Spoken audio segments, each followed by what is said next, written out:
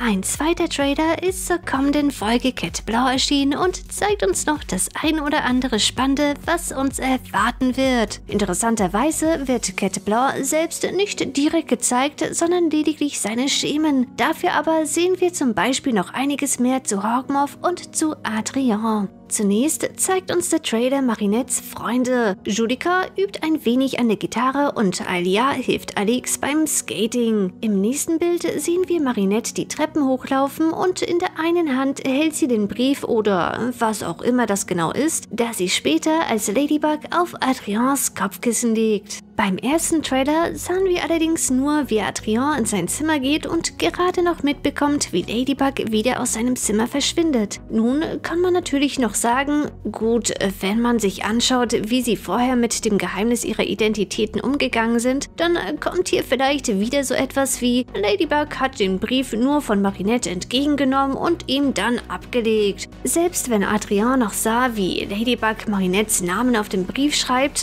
hätte sie vielleicht noch sagen sagen können, Marinette hat ja nur wieder vergessen, selbst zu unterschreiben oder so etwas in der Richtung zumindest. Aber hier nun beobachtet Adrien Marinette direkt mit dem Brief unter dem Arm. Also ich denke an diesem Punkt ist es schon relativ sicher, wenn man davon ausgeht, dass Adrien in dieser Folge tatsächlich, wie eben auch in Oblivio, hinter ihr Geheimnis kommt. Auch hier hat Adrien jedenfalls wieder seine Medaille und scheint recht stolz auf sich selbst. Einige von euch hatten vermutet, er könnte vielleicht beim Fechten gewonnen haben, was auf alle Fälle naheliegen würde. Was es letzten Endes genau sein wird, wird, das werden wir noch bald erfahren. Anschließend kommt eine Szene, in der Marinette vor Adrians Haus steht und hier wird ihr wohl auch bewusst, dass es ja nie so wirklich einfach ist, einen Brief zu Adrian zu bekommen, ohne bereits gleich am Tor abgefangen zu werden und kommt dann vermutlich zu dem Entschluss, naja, was soll's, dann verwandle ich mich eben und bringe den Brief als Ladybug direkt in sein Zimmer. Was soll da schon großartig schief gehen? Tiki sagt hier wahrscheinlich noch,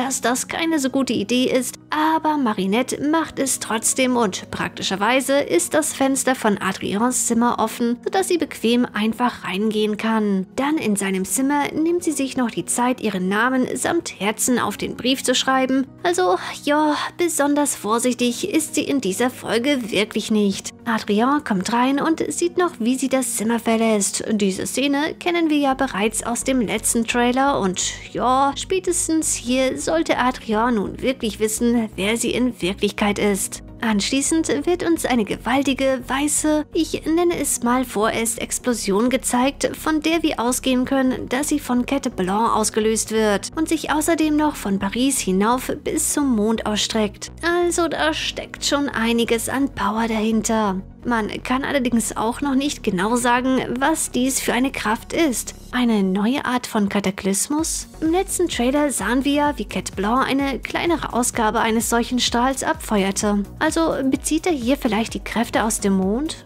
Man wird es sehen. Die nächste Szene sahen wir ebenfalls bereits im letzten Trailer. Marinette steht weinend unter einem Regenschirm, während Adrien auf sie zurennt, sich beim Laufen in Cat Noir verwandelt und dabei vom Gorilla Heini beobachtet beobachtet wird, der davon vermutlich anschließend Gabrielle erzählt. Eventuell findet hier auch Marinette heraus, dass Adrien Cat Noir ist, denn wir sehen zuerst, wie sich Marinette umdreht und sich Adrien dann verwandelt. Allerdings kann man natürlich nicht mit Sicherheit sagen, ob die Folge haargenau so abläuft oder ob dieser Moment einfach nur speziell für diesen Trailer so zugeschnitten wurde. Aus dem letzten Trailer wissen wir zudem noch, dass Cat Noir den Akuma fängt, der eigentlich Marinette akkumatisieren sollte. Eventuell wird Cat Noir dadurch gleich akkumatisiert oder aber es gelingt ihm, sich noch eine Weile zu widersetzen, denn wir wissen ja, dass dies möglich ist. Letzten Endes aber endet er als Cat Blanc. Als nächstes sehen wir Hawkmoth, der durch die Decke seines Verstecks herabstürzt und ich denke mal, es wird an seiner Verwandlung liegen,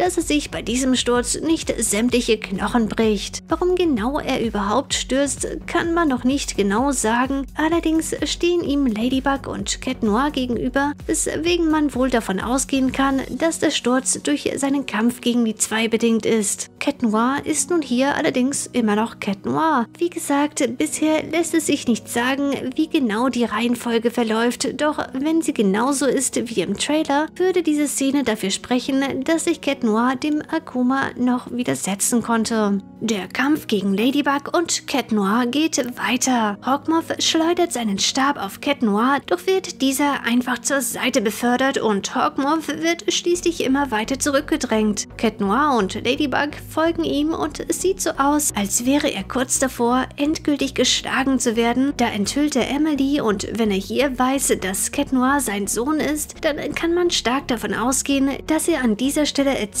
warum er überhaupt erst die Miraculous haben will und eventuell gelingt es ihm, Cat Noir von seinem Plan zu überzeugen. Beziehungsweise sehe ich hier fast schon zwei Möglichkeiten. Entweder ist es der Akuma, der Cat Noir zu Cat Blanc werden lässt, oder vielleicht, und ich habe keine Ahnung, ob das möglich ist, doch vielleicht verändert sich Cat Noir auch aus eigenem Antrieb, eben weil seine Emotionen beim Anblick seiner Mutter völlig durcheinander geraten und er damit nicht fertig wird. Ist wahrscheinlich etwas zu weit hergeholt und es wird schlicht der Akuma sein, doch war das gerade irgendwie ein spontaner Gedanke von mir, den ich mal in den Raum werfen wollte. Die nächste Szene zeigt Hawkmoth, der offensichtlich wieder ziemlich siegessicher ist. Vielleicht, weil er Cat Noir überzeugen konnte, wobei anschließend noch Cat Noir gezeigt wird, wie er offenbar versucht, mit dem eben Erfahrenen klarzukommen. Schließlich erscheint diese weiße Explosion und in der Mitte sehen wir die Umrisse von Cat Blanc, der auf seinen Knien ist und offenbar die Kontrolle verliert. Und das war eben auch mit der Punkt, wo ich zumindest vermute, dass Hawkmoth die Kontrolle über ihn verliert, sollte er für Cat Noirs Verwandlung mit einem Akuma verantwortlich sein. Oder aber, wie gesagt, es geschieht bei Cat Noir aus eigenem Antrieb. Was es auch ist, eventuell müssen an dieser Stelle sogar Hawkmoth und Ladybug zusammenarbeiten, weil Cat Blanc mit seinen Kräften drohte, alles um sich herum zu zerstören. Was wir ja bereits im ersten Trailer sahen, wo alles unter Wasser stand. Und zusätzlich holt sich Ladybug noch Hilfe von Bunnix. Die Lage ist auf alle Fälle ziemlich ernst. Was sagt ihr zum zweiten Trailer? Seid ihr auch schon so gespannt auf diese Folge? Schreibt mir eure Meinung gerne in die Kommentare und wie immer, bis zum nächsten Mal.